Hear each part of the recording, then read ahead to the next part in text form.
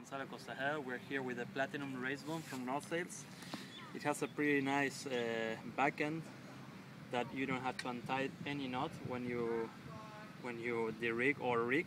So it works like this. You pass this rope through the loop through the clew of the sail, and then you bring the rope. You put it on this little hole.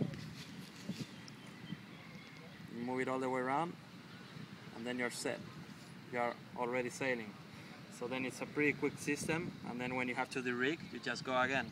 You put the rope on the on the little holder. You move the like that, and then you're off. So it's a pretty cool system, and uh, I love this boom.